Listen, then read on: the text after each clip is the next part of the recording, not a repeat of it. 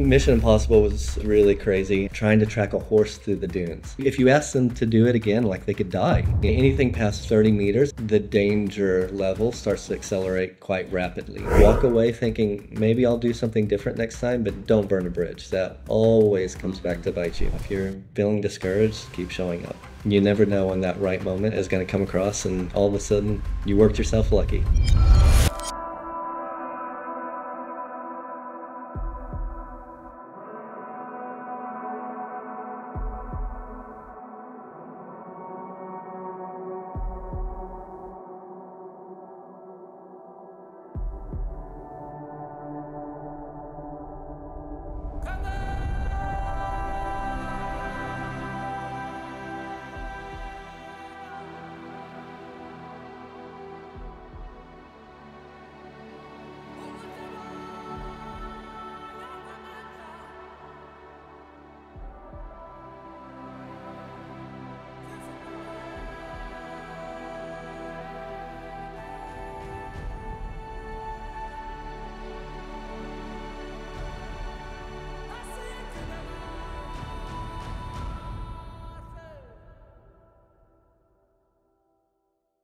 Started not doing like drone operation, right? Like you started just making some videos for your youth group. I mean, going all the way back. I mean, I'm 40 now, uh, and I started when I was 16. Um, and we actually we started in in uh, lighting and sound uh, in youth group actually.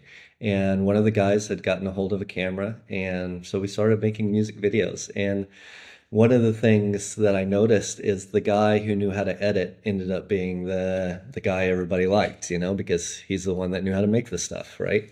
And so I was like, okay, I'm going to learn how to edit. And I had I had already like really been into computers a lot, um, but on the PC side, uh, like even building computers and, and different things. And so I decided I was going to learn to edit. So I was I learned I got a, uh, MacBook Pro back when they were like the plastic uh, white plastic ones, you know. Uh, I got a MacBook Pro and Final Cut. It's like Final Cut five, I think, is what I started on. And so imagine I don't know how to edit, and I'm learning a new operating system, so PC to Mac, and learning how to edit at the same time. And, you know, like young people learn really fast. But even for me at 16, I was like, I almost threw it out the window several times. I was like, this is crazy. but finally ended up figuring it out. Uh, ended up making a bunch of uh, small little videos. Uh, and yeah, the rest is kind of history. I just continue to do that. I loved it. Sports has always been, I guess that's a little bit more of the story as well. Uh, sports has always been the thing that I love shooting the most. So uh, I started with shooting snowboarding. Uh, and so I always had that connection in in the extreme sports world. So then when I came to Dubai, and um, and uh, took over. Well, was I was the director for a, a, new unit in, in Dubai Film called X Unit, and we created all the content for X Dubai, which is mostly uh, extreme sports stuff. So, yeah. So you went from uh, being on staff, uh, creating videos in the media department, to venturing into drone photography, getting really inspired, creating some some maybe things that weren't massively common at the time. And then your friend hinted at the idea, "Hey, come with me to Dubai." And then suddenly you had not you had an opportunity presented to you and then uh what Yeah, the crazy thing that moment. The crazy thing uh you know, we we went from the airport to the Burj Khalifa where they were having a Jetman event. And so that was like my first look out at the city. And of course, mind blown. Uh, not just with the city and the Burj Khalifa, but from Jetman Oklahoma as well. to Burj. Yeah. Yeah. And so um, I met the boss that night and he didn't even he didn't even like ask me do I want to work there or anything like that. It was like he's so confident. Like the first question was, "Are you Iranian?" And I was like, "No." He's like, "You look Iranian." And then he said, uh, learn how to live in Dubai and you'll do just fine. And he walked away. that was it. It was like, you're coming to work here. so, yeah, it was crazy. So, you know, I came there to do drone stuff and I guess whatever else they needed, but mostly the, the drone thing was kind of my big reason for being there.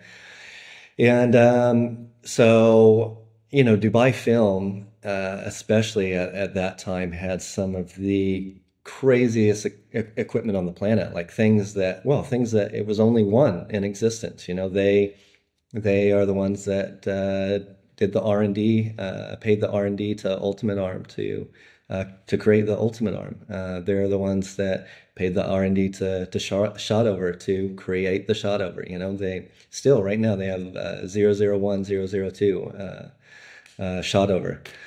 Um, so yeah, they were like on the cutting edge of all kinds of incredible stuff at the time. The 75 foot techno crane, the um, the ultimate boat. There's still no, still today, there's nothing like the ultimate boat, you know, and like just crazy stuff like that. And so that I was just in this world all of a sudden, like wiener in a steakhouse, you know, like just feeling really out of place. Like, how am I going to compete with these guys? Like, a lot of these guys were proper Hollywood guys, you know, and so uh, I just kind of threw myself in it. Uh, anytime I could get my hands on uh, cameras or lenses, which honestly was was all the time. Like the the camera room doors open. Uh, it very much was a place of learn whatever you want to learn.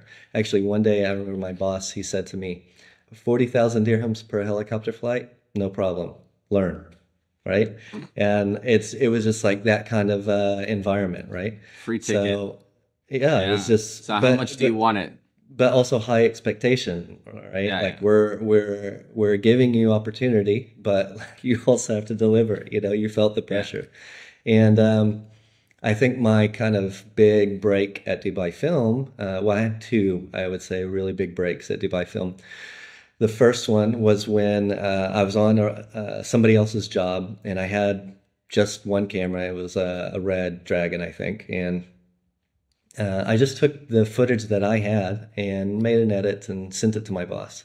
And I don't, I'm not sure that he knew that I was an editor as well. And so he called me in the next day. He's like, Did you make this? I was like, Yeah. He said, Okay, tomorrow go to this place, be here at this time. And it was just like a, a dock. And I got there at six in the morning. And he just said, Make me something nice. That's it. That's all he said. I didn't even know what I was shooting. So I took a red camera and went to this, to this dock and they put me on a boat and I went out to the World Islands and it was like hundreds of hot air balloons getting ready to take off, right? And so I met the main guy and we went up in a in a in a hot air balloon. Uh, even even that story is so crazy because and this is like a perfect example of the the kind of environment I was living in. So the weather was not ideal. As a matter of fact, the wind was blowing the wrong way. Uh, it was blowing towards Iran, right? And we wanted to go towards the UAE. And so um, the hot, hot air balloon pilot was telling like the main guy, uh, no, no, no, this it's not a good idea. Weather's not right. Um, I'm I'm not going to take off. And the main guy's like, okay, uh, you're not the captain anymore. He points to this other guy. You're the captain now, right? And here we go. we took off. And sure enough, like as as we get into the air, the wind, uh, like this this main guy, he kept saying, "We just get up to a certain point, and the wind will be in the right direction." And it was like we got up there, and wind started blowing the right way. And uh, and so I'm shooting all of this stuff, and then all of a sudden this helicopter appears, right? All these hot air balloons are up, and and this helicopter is coming in, and it was Joseph, the guy I was telling you about. And I didn't know that they were sending a helicopter out, right? And so now uh, I have this this footage, and and uh, I make an edit, and I, I send it to my boss, and and it ends up on X Dubai uh, Instagram. Uh, and at the time, X Dubai was competing like head to head with Red Bull in terms of like uh, they had a whole portfolio of athletes, and and uh, it was all about the big stunts, right? And so um, he called me in again a few days later. He said, um, "We have the World Air Games coming up at um, Skydive Dubai. Um, take any uh, crew, any gear that you want from Dubai Film. Make me something nice. It's, again, make me something nice." so I did. I shot uh, five days. Um, we used all kinds of fun stuff. That was actually the first time um, that I used the Fujinon 75 to 400 in combination with the Phantom Flex. So of course, like these are the days where I was putting cameras uh, on things that probably wasn't necessary, but just because it was a cool camera, you know. So um, yeah, I, I made an edit, and same thing. Like that evening, it went up on on um, the X Dubai Instagram, and then the beginning of the next week, my boss called me in, introduced me to this uh, this new guy. Uh, his name was Morgan. He's he was formerly an athlete manager at Red Bull, also former uh, Red Bull athlete himself, and he's going to be the athlete manager now at X Dubai. And he he said to us, "All right, we're creating a new unit because at the time Dubai Film had two units, A unit, B unit. We're going to create a new unit called X Unit." And you guys are going to create all the content for X Dubai. And then that's when um, yeah that's when it really just kind of took off all kinds of crazy projects. And then the next really big uh, break i would say would be about a year later there was some transition in the company and we went from uh, being like more private to uh, like a normal company. Uh, and so we opened our doors to everybody. And because there was a lot of reshuffling uh, I became the the like in-house director for Dubai Film. Uh, the the directors that were there before had kind of all all left, and so now we've opened our doors to the public. So all these commercials coming in and films coming in, and and so uh, and of course everybody's wanting to use the the amazing gear, right? And so all of a sudden, my boss was like, "Can you do this? Can you do that?" And all the time I was like, yeah, I can do that. And then at night I'm like on Google trying to figure out how do you do this, you know? So, um, but yeah, thankfully there was never any train wrecks, and and that really was a, a right place at the right time kind of moment that um, then put me in some just absolutely crazy scenarios. So that's awesome. So what I, I'm curious, what what variables do you feel like allowed you like, uh, what what decisions did you consciously make that allowed you to get to the place to where you were suddenly working amongst Hollywood filmmakers uh, in a sort of a, a completely new journey in Dubai? Yeah, I mean, I had a lot of confidence. Um, that certainly helps. Um, and a willingness to actually, the interesting thing about the confidence is um, if you work around proper film set guys, uh, Hollywood style film set guys, the confidence doesn't doesn't always help you out because there's very much a system. There's a hierarchy, uh, and you like earn your way up the the ropes, right?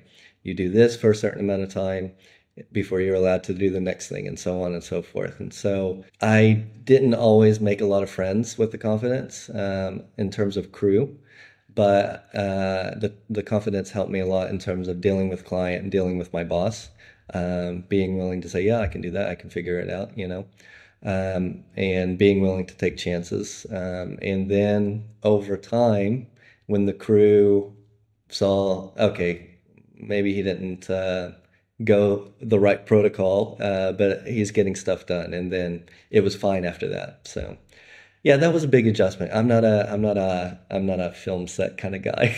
I don't. My philosophy has always been uh, can the guy do the job?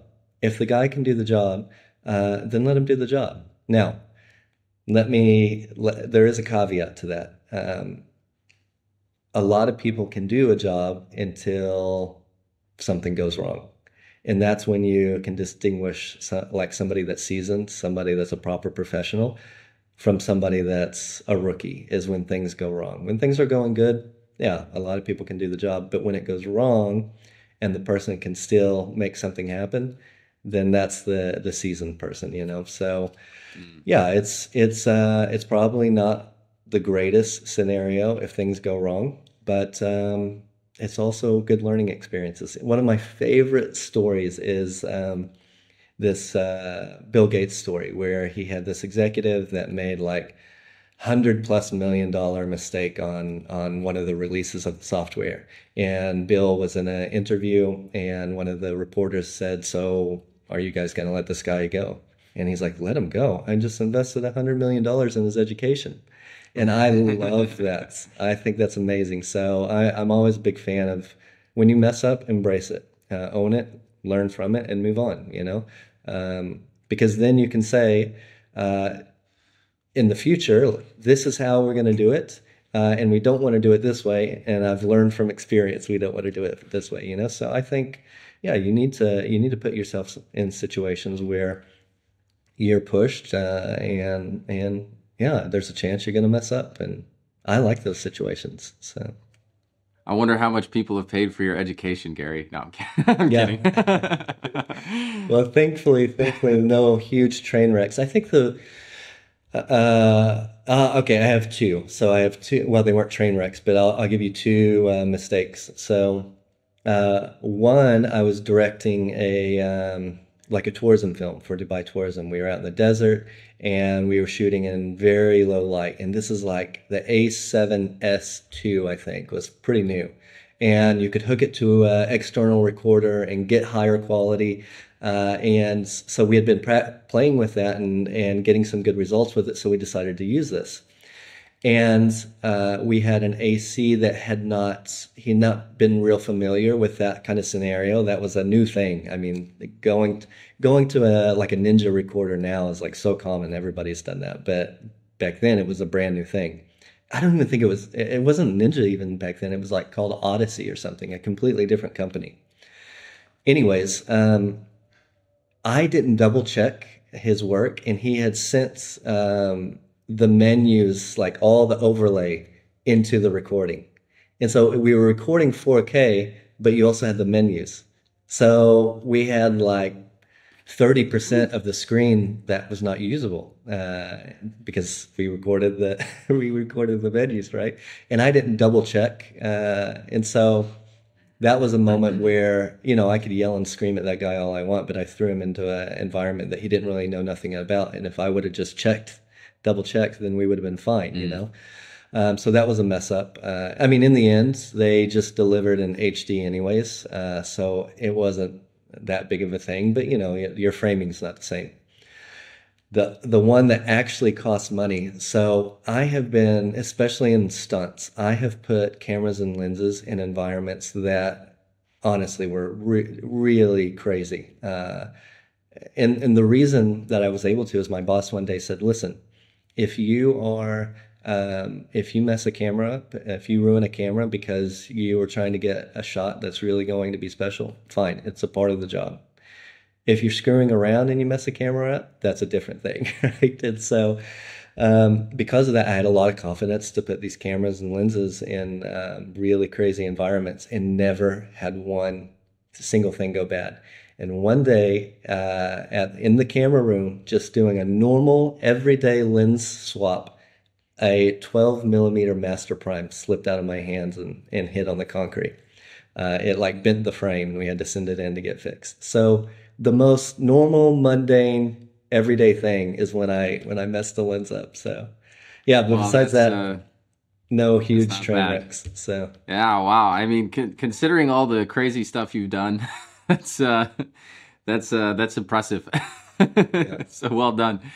You've done some crazy stuff. I've heard the the helicopter story with with uh, with Tom Cruise, um, and you've you've had some world first. I want to hear some stories of some of the most exciting projects or some of the things that you've done. Mission Impossible was was really crazy, mostly because it was we were on a fifty to one thousand trying to track a horse through the dunes. So we had gone up and done some test shots, and the uh, the aerial uh, stunt coordinator uh, told us what the the director Christopher McEwen had wanted, and so we had gone up and done some test shots, uh, like 300 millimeter, which is already hard. Uh, and basically, we track the the horse through the dunes, lose him, and pick him up again on the other side. And so we land, and normally how it works is the footage goes directly from the helicopter to the DIT, and the DIT will trim the footage only to the good shots. And because you're you don't want to waste the director's time, like time is money on set, right? So we get called over to the director's tent, and uh, uh, we walk in. It's Christopher McEwen and Tom Cruise. Now the pilot that I'm with, which is uh, he, he's a legendary pilot, Andy Nettleton. Um, just in terms of uh, shooting stunts and shooting films and all of this, absolute legend, uh, one of the best. But over all the years that I've worked with him, he still to this day calls me Jerry. And to be fair enough, I mean my name is spelled like Jerry, so I can I people it's hard for people to get that out of their head. But we walk into the director's tent and uh, he walks in first. I walk in right behind him. and We start getting introduced, and he introduces me as Jerry. So Tom, Tom's like, "Nice to meet you, Jerry." Right? And, like there's it's like everything's rushed right? So i don't I, I i feel weird taking the time to be like no no no it's gary. It's like no let's just move on you know no big deal. So uh christopher watches the footage and tom's like whoa what lens is this? And i'm like 50 to 1000 he finishes my my statement. So the dude knows about lenses. And so we start talking about this lens. And then christopher says guys uh, get me something that's tighter like really get in there on him uh, and lose him in the dunes and pick him up on the other side. But you got to land on him. So we leave and, and we go back up and shoot some more stuff. And now we're like five, 600 millimeters. And it's really difficult because it's not the tracking part. It's you lose them in the sand and the, and then your screen's just brown. Like you have no point of reference. So you come out on the other side. Well, I'm feeling nervous at this point, I'm with the uh, aerial stunt coordinator, so it's not. I mean, yeah, I'm I'm definitely nervous. Uh, I want to get it right, but it's not like the guys yet, you know. And we go, we do this a couple times, and as we come out the other side, I don't quite land on the. I have to search a bit. Where's the horse, right? And so we do a few loops trying to figure this out. And I said, okay, if we if we start um, if we start at like five, 600 mil and we're nice and tight and we hit the sand and we widen out a little bit as we're going across the sand. There's this little bush up uh, towards the top there. And if I can see that bush, then I know I'm going to land in the right spot on the other side and I can start pushing in again. He's like, yeah, yeah, let's try that. So we do that and uh, it works. it's fine. And so we go back, we land and, um, and we get called back to the director's tent like an hour later and they start playing the footage but they don't play it uh, from the from the very beginning. Uh, i'm sorry they don't play just the good stuff they play it from the very beginning. So they're they're seeing the misses like right off the bat right?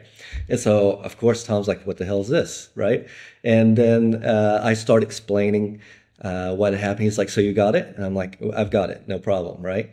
But of course on the inside i'm like I, I have to get it right? And as we're talking about this um, um, McEwen is watching the footage and he's like, guys, we got to land on the horse. And Tom's like, if Jerry says he's got it, he's got it. What are we standing around for, right?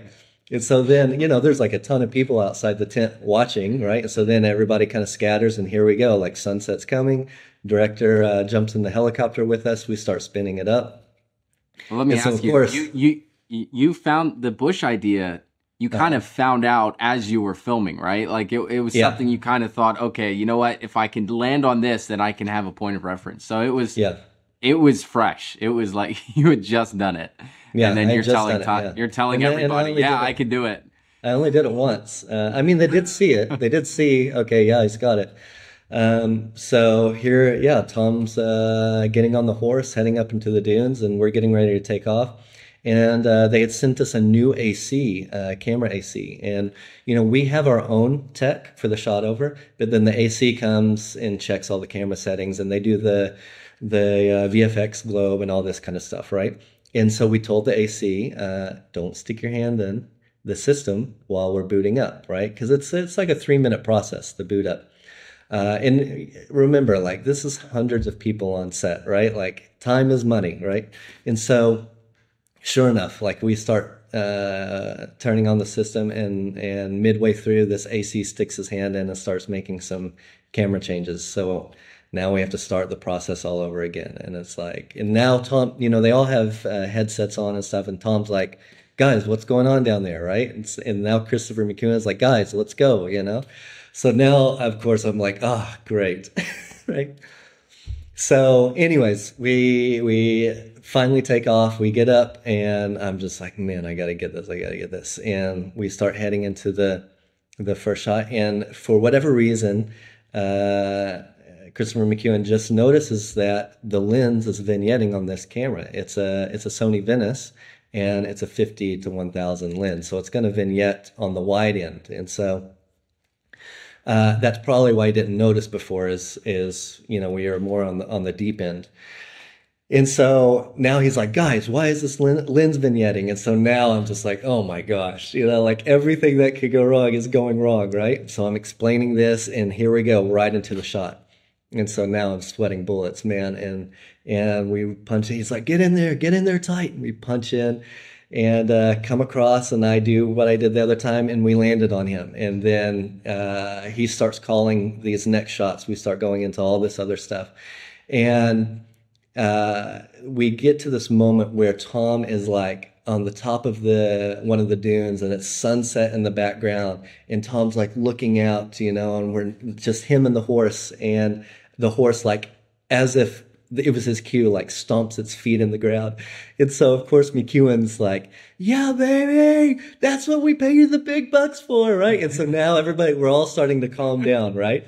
Um, because what the thing that you have to know is it's a video transmission to the ground. So every all the crew on the ground are watching, and it's everybody has mics on, right? And so everybody's listening to everything going on too, you know. And so now, like all the tension has started to to, to calm down, and we're we're feeling much better. We got the shot, and so now because Andy's feeling good about it, he's like, "Hey, maybe we should uh we could go around and reveal him from from the other side of this dune." And I'm like, mm, "We're good," you know. And Christopher's like, yeah, let's try it, you know? And so we go behind this dune and I'm like looking out the window. I'm like, uh, is he there? Is he? And Andy's like, don't worry. He's on the other side. And I'm like, don't worry, you know? Yeah. And we come up over the top and he was there. And Christopher's like, yeah, that's awesome. Let's go behind this dune. And so we start passing behind a, uh, another dune, and I look out the window because you know you, your head's in a monitor. You don't always know where you are. I look out the window to see like what what kind of dune are we talking about, and we lose him going into the dune, and it's a long dune. I'm talking like four or five seconds of just sand. It's so I'm just like, oh, really? We had to end on this one? And so I say to him, uh, sir, we would have to be super lucky to catch him on the other side. He's like, hold it. And I'm like, hold it, hold it. And I'm just like, there's no chance. There's no chance he's going to be there. And we pop out the other side and he lands right in the middle of the frame. He's like, I told you, I told you. I was like, how lucky are we? Holy cow. So yeah, we, uh, we went back and, and, um, of course there was a lot of celebration and, and so that was a good, that was a, certainly a highlight, uh, in life was, um, not just working with Tom Cruise on Mission Impossible, but doing, a shot that was really difficult to do. Uh, anything on the 50 to 1000 uh, is just tough. And honestly, that's these days, that's what gets me excited. Like things that haven't been done before or are really, really hard to do. We're working on something right now that's um, 27 meters underwater that's never been done before underwater with with cameras and for me it's like man this is literally the kind of stuff i dream about at night this is what i get excited about like i'm not a I don't like the idea of working on big movies or any of that stuff. It's like, oh, it's like, what would I be doing? Like, am I going to do something hard? Then yeah, let's do it. But just the idea of making movies is not something that I get excited about. I want to do things that are like, hasn't been done or it's really hard to do. Um, so yeah, I mean, on the ego side of things, that's what like gets me excited. It's like, yeah, I want, I want to be somebody that, when people think, uh, okay, this is going to be hard to do, or can we even do it, that they they want to call me, and so that's right. kind of in life what I'm my big thing right now, I suppose. Thing Swiss that makes Army me excited. Knife. Yeah, yeah. Well, uh, you didn't start off in helicopter shooting crazy uh, focal lengths. There was a moment when um, you had the opportunity to potentially do it, and you had said, "Oh, I I can do it." Yeah. Uh, walk walk me through that scenario because I obviously that was kind of the beginning and probably one of the only like if you didn't take that risk you wouldn't be able to do what you did in that moment yeah um, so you know when you're when you're going to become a uh, aerial operator you often start on the ground first and so i was volunteering to do horse races. And horse races are so boring and mundane. Like you're just going in circles all day. Or there's there's a kind of a cross country version that's a little bit more exciting but still it's just hours of tracking horses. Um, and i just volunteered to do a lot of that. That's the kind of work that most of the guys they didn't want to do but i thought well i want to i want to end up in the air one day. And so um, i did a lot of horse races and that's how i became good at, at tracking things. Um, and then uh, I became the director for the Jetman project uh, for the content creation side. And that is literally one of the hardest things on the planet to track. I mean, you have this man flying through the air, you know, at 300 plus kilometers an hour. You know, it's it's uh, it's crazy. And so there, at the time, there was only uh, like two, yeah, two people that uh, could actually do it. You know, and um, we were going to have to be kind of lean and mean, uh, our crew, uh, because we were traveling to some pretty crazy places like China, for example. And so I opted for um, uh, to gain another crew member in a different position. Uh, I just said, you know what, I can do the helicopter stuff. And they're like, um, are you sure? you know, I was like, yeah, yeah, no problem. I can do it, you know? Uh, and it was hard. Like that was, that's some of the hardest stuff I've ever, like your hand starts to cramp, you're sweating, you know, uh, just trying to, because I, I think what makes it so much harder besides them moving really fast, they're small, they're moving really fast, but these guys are doing things that are incredibly dangerous. Like they can, you, if you ask them to do it again, like they could die, you know, like it's, it's, it's really heavy stuff, you know? And so you don't miss shots. Like you, if they're going to do something, you got to get the shot. And I think for that reason, it was so much, uh, tougher, but, uh, I felt like, um, yeah, I felt like I could do it and, and yeah, it went fine. Uh, I mean, I certainly wasn't as good as the guys that had been doing it before, uh, right off the bat, but very quickly, um, I, I became good at it. So, yeah, that was Yeah, uh, but that was a crazy, but it crazy uh, thing in life for sure. but that was something like you don't get access to do. Like you had to kind of push your way in into the line, right? I, I want Yeah. you to like walk walk me through that scenario. I think it's so inspiring just to hear like the fact that you were like, you know what, I really want this, and I'm gonna I'm gonna I'm gonna fight for this. Yeah, I mean, it certainly was a fight. Um, you know, uh, management is ve they were very good at like, okay, you've proven in the past that if you say you can do something, that you've done it and you've delivered. So they weren't uh, they weren't a problem for me. It was it's the the people or other people around you, you know, that uh, you know, there's always politics involved, and um, and of course, if if that's been your job before, you want to keep your job. So the the guys that had done it before it was very tough. But yeah, it was just um, it wasn't purely. Of course, I wanted to learn how to do it. So there was, uh, I suppose you could call that the ego side of of wanting to do it. But more importantly, there was the practical, economical side of like, ah, I need a, I need uh, another camera operator in this position, and I only have so many slots, and so I need to suck it up, Buttercup, and and make it through it. So Mm, that's exciting. So tell me about the uh, what really gets you excited and fired up these days is obviously deep dive, creating some stuff underwater. I uh, when you any told me about yeah when you told me about that the process for filming underwater it blew my mind because I had no concept for how much more complicated it becomes not only diving underwater and dealing with you know air pressure but also ha- operating a piece of equipment underwater Yeah. Yeah, anything underwater uh, gets me excited. I just love being in the water. Uh, so I'm a technical diver. Um, and yeah, okay, so when you start to go to depth, so I would say anything past 30 meters, it starts to, the danger level starts to accelerate quite rapidly. And the reason is because um, you start using different gases, especially past uh, 40 meters. You're you're using mixed gas now, and so um, and you can you can essentially what happens is how your brain re- responds to these gases. Um, it makes it's like being drunk, and so now you're drunk underwater, and so you're not always making decisions in the best way, and so you have to manage gases at certain depths to be able to function cognitively, basically.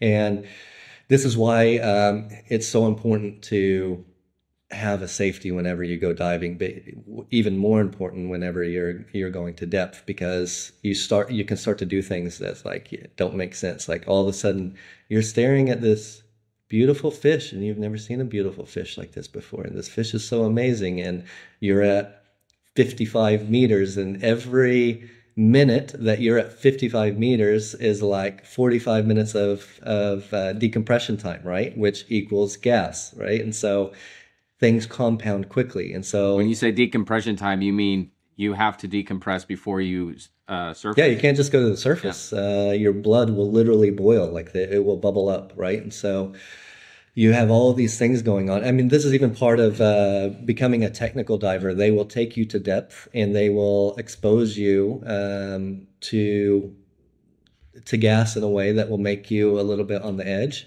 and then they start causing you problems. Like they'll take your mask away and they'll uh, shut down your your tanks and or they'll disconnect a hose, and you have to stay calm and figure it out. You know, this is how you even get certified to be a technical uh, diver is that you're not going to be somebody who freaks out underwater, right?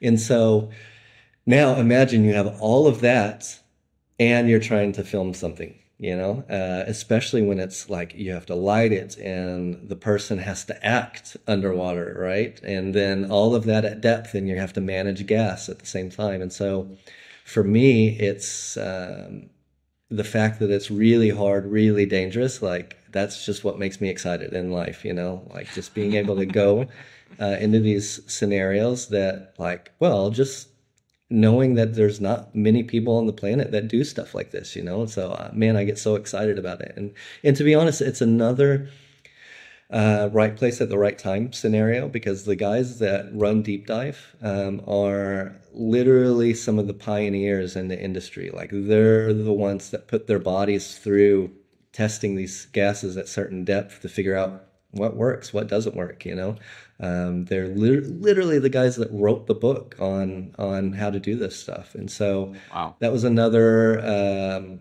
just right place at the right time that I got to do training and and uh, and shoot with these guys. Um, so yeah, super grateful for it. But that's certainly the thing that that I wake up in the morning and and get excited about. You know, so that's exciting. So uh, we'll be looking forward to your underwater diving course. yeah, when's it coming out?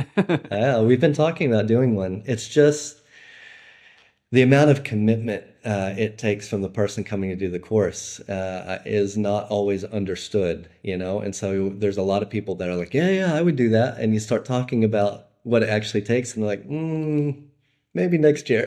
you know? So yeah, it's it's a lot of work. So yeah, that's that's, that's so cool. Um, so I, have got some uh, some recap and questions and principles. I'd love to uh, dive into a little bit of uh, a little deeper into your story and, and the, the, the sort of lessons that you've learned over the years. Obviously, you've you've you've dealt with culture clash.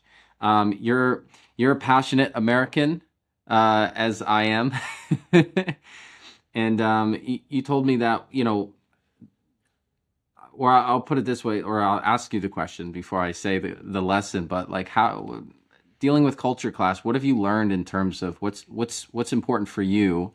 having longevity in your career and um, what would you you know encourage any up and coming uh, passionate filmmaker um, what principles have you learned that have kept sure. you in the long um, yeah i mean first of all you have to learn to deal with heartbreak. Um, you know we we have all these ideas in our head of oh, this is my film and this is how it should look and no it has to be done this way. And then you start working with an agency or a client that's like they also have visions of, of how it should be. And very rarely does the director or dop get his way 100% and when i was young i fought against that really hard. And uh, didn't make friends in the process you know um, because it, it's just in my head like oh no it has to be like this if it's not like this it won't be good um, as a matter of fact there was one, wow, this is so embarrassing.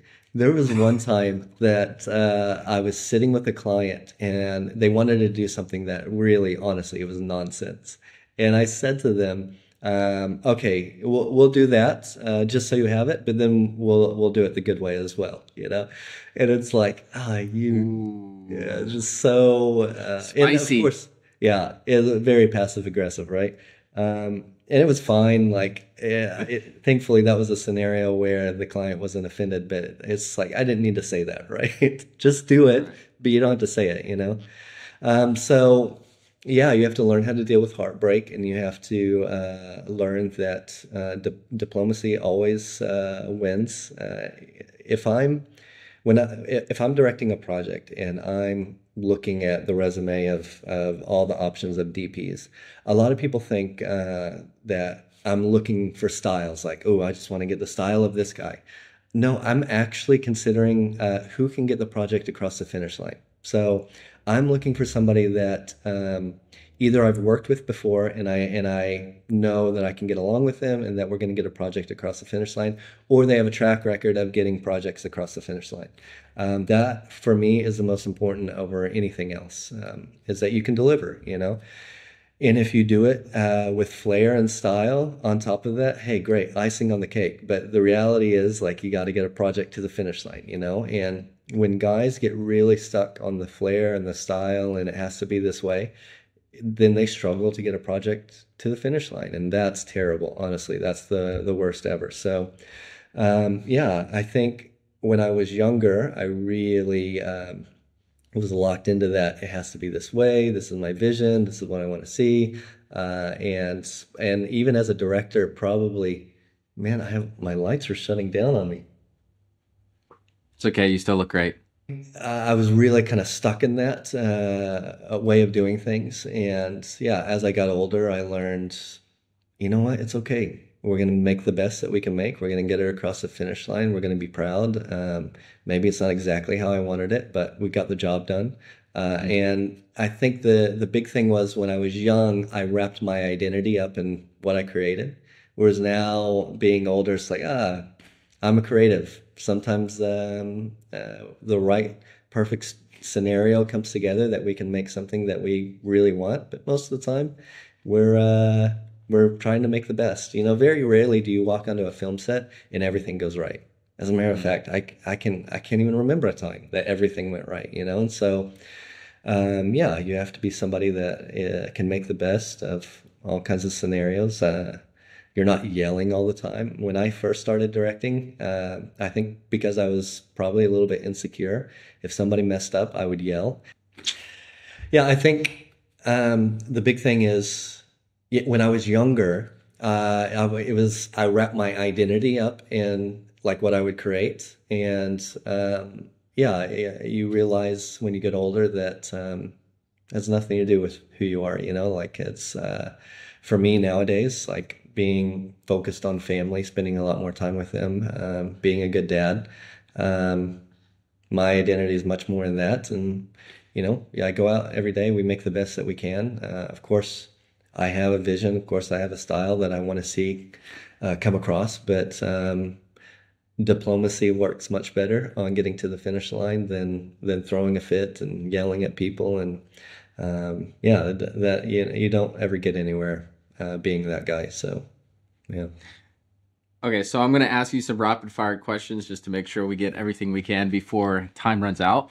Sure. How um how important is it for gear? Buying gear, gear. as a filmmaker? Yeah, it's not. Uh, sorry, I'm going to burst people's bubbles, and I love gear. Uh, I can sit for hours and, and talk about gear, but the reality is that um, the story, um, how you connect uh, people to the story matters more than anything else. Um, so gear is secondary, uh, especially the camera. Uh, you're going to get uh, how you're lighting a scene should be first. I mean, you have story first, obviously, but then how you're lighting a scene should be second. Uh, then lenses third. Uh, a lens creates much more character and is much better at telling a story than the camera and then the camera fourth, um, in that order for me. Uh, and I don't, I mean, certainly, you know, you can make all kinds of cases for, you know, this camera being able to do whatever it is, you know, that you want it to do. And, and it's legitimate cases, but like in terms of priority of what matters, um, yeah, the camera's pretty far down the list for me. So, and, so, and this is coming from, I, I, I think the reason that I, was able to land there is I worked in a place for seven years that had the best of the best. They had everything. And so I, I could play with everything all the time. And I realized in the process that uh, it didn't help that much, to be honest, you know? So, yeah. I think um, some interesting things about you is you owned a red, uh, mm. you brought it to Dubai, and it mm. sat and collected dust, right? And yeah. um, you've you've touched the best of the best. So I, am I'm, I'm not sure if this is true, but some sometimes you gotta you gotta touch the best in order to finally land somewhere in a yeah. reasonable spot. But in those bigger productions, you're gonna have access to that equipment, and that's also the difference of like, you know, uh, that I've realized is like you know if you have a proper production, you're not necessarily all you can rent any equipment you need for the production, and that's that's that's an important part. Um, I also think it's it's useful. Well, one part where it is useful, of course, is just getting experience. Mm-hmm. Um, so having a baseline, I think, like what you had described in terms of having the bare essentials in terms of uh, the focal ranges um, to have experience with that. Yeah. But yeah. Um, okay. So next question: uh, in-house or freelance? What uh, what would you recommend in terms of someone you know wanting to pursue this dream full time? Do you feel like you know uh, there's pros and cons? Do you have an opinion about that? yeah, think, that's the know, same question to me as a, a, film school or no film school. It's like uh, what what kind of personality type are you? Because you can give pros and cons for both sides. You know, if you're somebody that loves school, then go to film school. Uh, you're going to make connections that will last a lifetime. One of the beautiful things about film school is you make connections that uh, it only takes one person in your group to make it, and your whole group makes it. Uh, so that's amazing. Commit to protocol and climbing the ladder and the specific way that they've set up. And and I, I'm smiling and smirking when I say that, not because um, I'm saying that's a bad way. It's just not my way. I I 100% understand why they do that. It makes sense but it's not it doesn't fit me you know? So um, yeah in in the same way um, i would say if you are going if you're just starting out and you're wanting to try to to figure this whole thing out then yeah go go work somewhere and uh, see the process see how they do things. Um, you're going to learn a lot uh, being on salary somewhere and and and being that guy. And then when you're comfortable then then do it yourself if you have a lot of confidence and and you think you can shake the bushes and make it happen, do it. You know, that's it's to me that's a personality question. So, so a filmmaker looks at you and says, "Man, I want to I want to be there at some point in my life." Um, what what would you say is the recipe for getting to? I wouldn't say the top, but the top. You know this this question is uh, so funny because it makes me think of uh, one day I was listening to this preacher and he does this like he's this old gritty New York preacher that does uh, like hardcore uh, on the streets kind of stuff, you know, and uh, he was he was preaching the sermon and he said this guy come up to him uh, after the sermon and said I want you to pray for me and to have your blessing. And he's like, okay, I'll pray for you. I'll pray you get shot in the face like I did. when I heard that, I was just like, oh, that's amazing. It's so true though, because it's like, you know, people like they want the magic pill or they want the the um the if I could do this one thing, you know, it's like ah, that's just not how life works. Uh, now I was lucky to be in the the right place at the right time, but at the same time, uh, I worked myself lucky. Uh, this is, is a, a, saying I picked up from a, a coworker a while back work yourself lucky. So, um, yeah, you, a lot of people will see like, oh yeah, but you had so much opportunity and you were able to do this and able to do that, and and they don't see all the work and effort and staying up uh, through the night learning how to do things. And I mean, I started when I was 16, guys. I mean, I'm 40 now, so it was it, it was a lot of hard work. Uh, and it's only kind of later on in life that it's like, oh, I'm an overnight success. Yeah, right. overnight. Mm, yeah. So, yeah, it's uh, nothing in life comes for free. It's not easy, you know? Um, now, I'm huge on uh, this whole idea of being in the right place at the right time comes through a relationship. Uh, so, work yourself lucky and make connections. Um, if I ha- if you forced me twist my arm to say what's the the one thing, then I would say relationships. Meet a lot of people, shake a lot of hands, uh, do stuff for people that maybe you don't get paid the best for, but it creates a good relationship. Actually, there's a there's a guy here in Dubai that he was telling me, uh, and he has he has a very large company. Uh, he doesn't need to do free things, but he did something free recently for some organization, and it took a lot of his manpower to do it um, just because he wanted to make connections. It was a kind of organization he wanted to connect with the people that were going to be at this event. So he did this whole thing for free, and sure enough, he made a connection that ended up in multiple different jobs, you know? And so here's somebody who they don't have to uh, do stuff like this, but he understands the power of a relationship, you know? So yeah, I, I, if you force me into giving the one key piece of advice, it's meet a lot of people, build a lot of relationships, you know? Be known as a guy that is not going to fight everybody, but is a problem solver and is going to get the project to the end. So. In your own words, do not burn bridges. Holy cow. Yeah, I can't emphasize that enough. Uh, and I learned the hard way. You know, like you get mad about a scenario and you're like, I'm never going to work with this person again. So I'm going to tell them what I think, you know? And then guess what? You're never going to work for them again. But an opportunity uh, came up that you could have worked for them again. And the, the, the what makes it hard is you get down the road a couple years and you don't even remember why you were mad at each other, you know? And yet you're still not working together because at some point you were mad at each other. It's so dumb. Like it's so dumb. So yeah, you have to learn how to put your big boy pants on and and even though you're having a full on disagreement about something, say, you know what? How can we how can we solve this?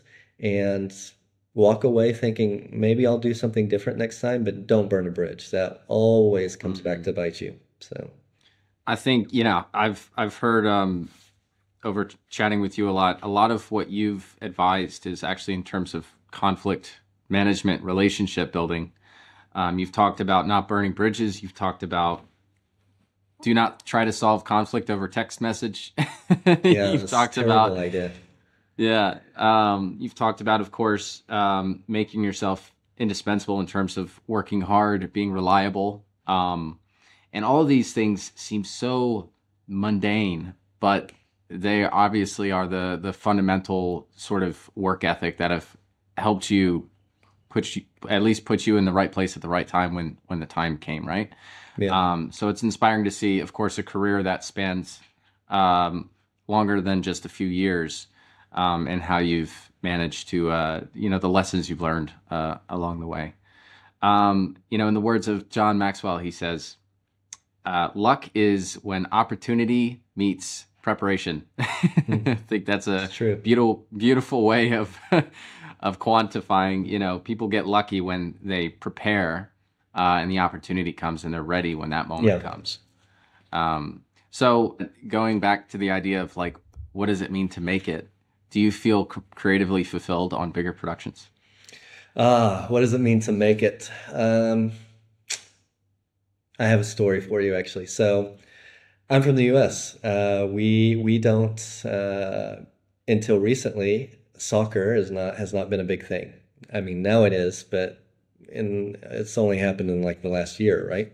So uh, one day we get a, a, call and we need you to direct this project. It's going to be um, a celebrity, but we can't tell you who it is until you come in, sign an NDA, and we have our first pre-production meeting. So I go with my team. We go in and uh, they say we're going to be making a, a, commercial for Messi.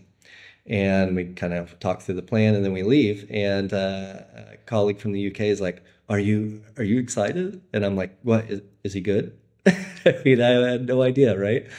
Did I make it? It's, and it's literally the goats, you know. And so I have been able to be in situations uh, shooting some really cool people. Uh, Will Smith, for example. I mean, not just Will Smith. Will Smith shooting Will Smith on the helipad of the Burj Al Arab. You know, like these dream scenarios that I think my opinion is it's not because I'm overly creative. It's not because I have this amazing style. It's because I have a long track record of getting projects to the finish line. Trust, you know, uh, reliability. And I don't, when I look at my stuff, um, I don't like. I don't feel like, oh, man, you've made it because uh, you have this amazing creative eye. No, I think I've I've made it because I've worked hard. I've delivered projects that um, some of them have been quite tough. Some of them have been really grueling, but we get projects to the finish line. And and I really think uh, if you want to be somebody who makes it, then you better be somebody that that delivers, that gets projects to the finish line, not a diva that's always griping about your style or your way or your camera or your I got to use these certain lenses. Like, man, that's all rubbish, you know? Like, be somebody mm-hmm. who people trust. Uh, when because the reality is, in the the scenarios that I just described, I promise you, Shane, I didn't get the call for Will Smith or for Messi uh, or for a Mission because uh, I had an amazing style that they wanted on that project. It was trust that I was going to get the job done. It's really that simple, you know. So yeah, uh, you want to be somebody who who makes it, then then be somebody that people can trust to, to get the job done. And I think um, when you make the transition from being overly concerned about um, methodology and style and and wrapped up in like this is who I am uh, as a creative and and you start just living life. I mean, for me, it's family. You know, when I made that transition from um, everything was about the the content I was creating to like, no, I want to be a good dad. Uh, creating content's cool also, uh, but I want to be a good dad. More importantly, uh, what happened on set was I calmed down. Things that were a big deal were not a big deal anymore. You know, um, and that's important because we can make uh, little tiny things a huge deal on set that just really are inconsequential in the end. So, yeah.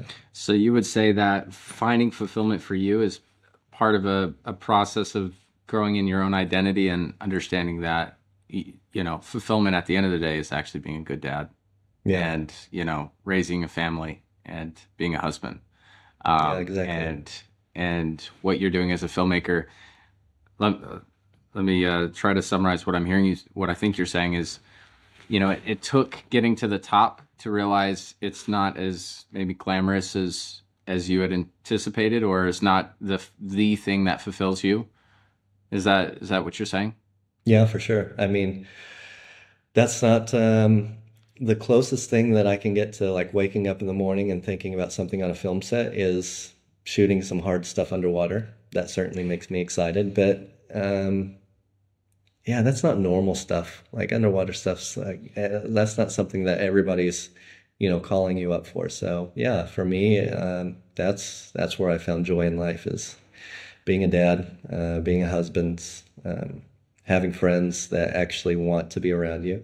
I remember, um, wow, so I worked with a person that when we were together, we would run over people unintentionally, but we we we kind of had this methodology of um,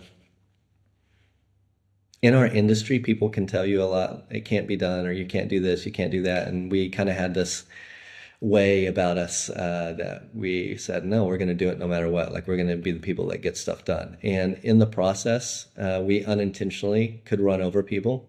Um, kind of a either get on board or get off kind of uh, attitude.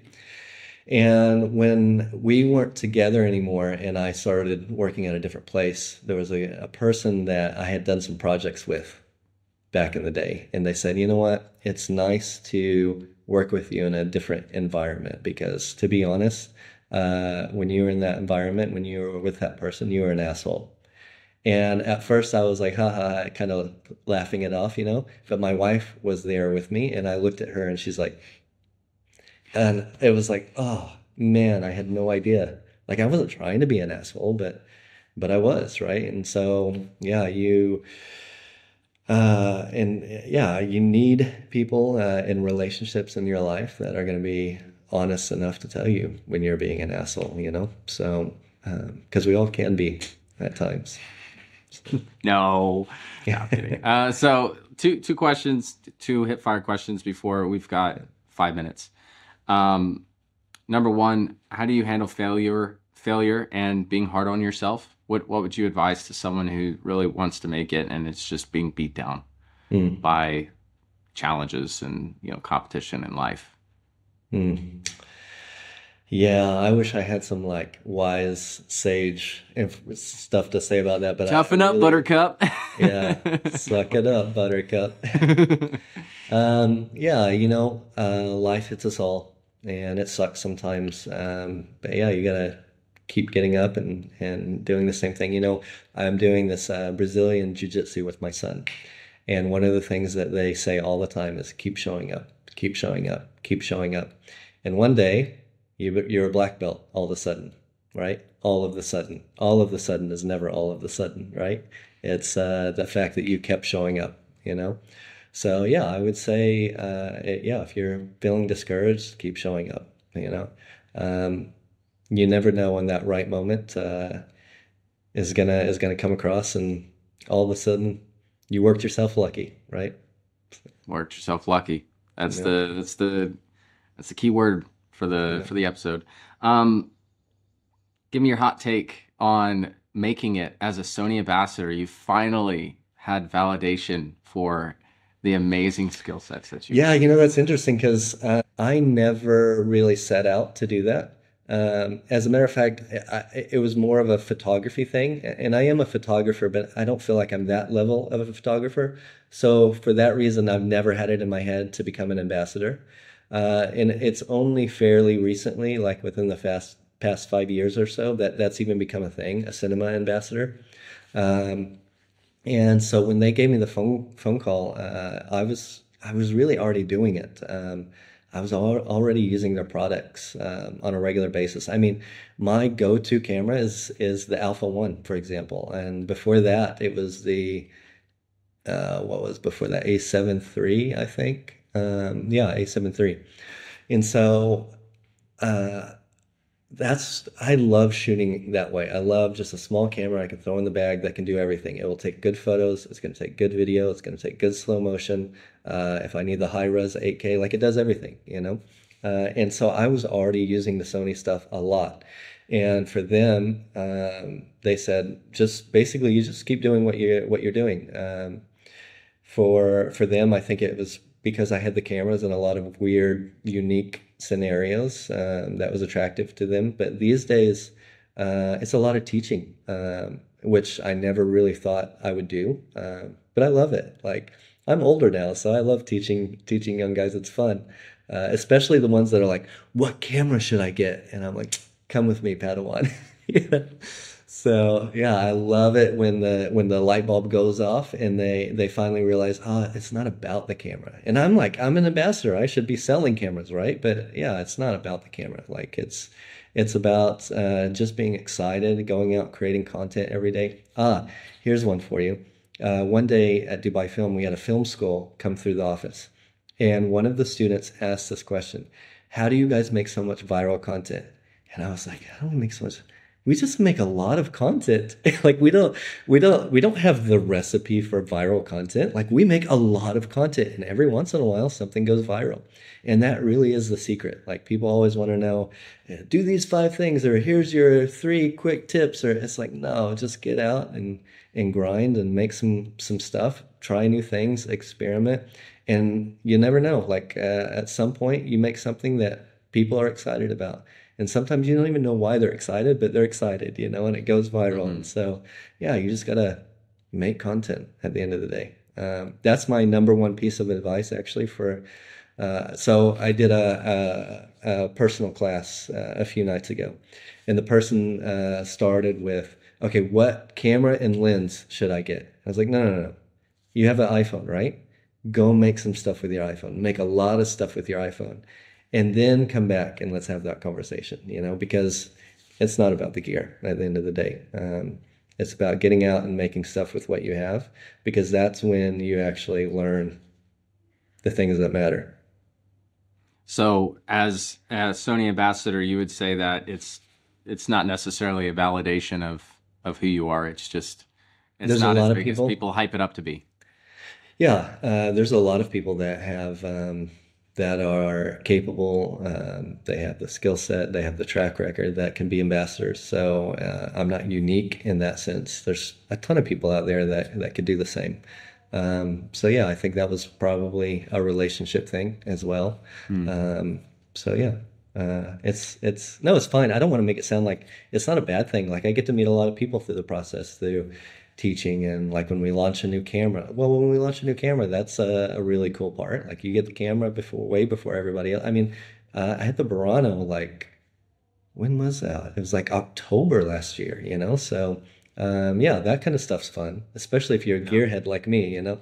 Um, so yeah that that part's cool but uh, yeah i think the the most valuable thing that i get from the ambassadorship these days is just the relationship part the getting to meet people across the world so yeah Gary, thank you for the conversation. It was uh, super fun to be able to do this. Yeah, thank you for having me. It was awesome.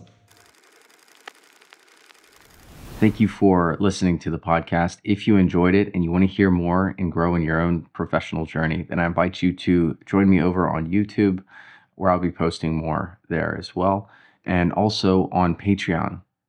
My hope and goal is to help give back to the filmmaking community that has helped me in the journey. And if you know someone who I should interview, then let me know. I will see you in the next video. Cheers.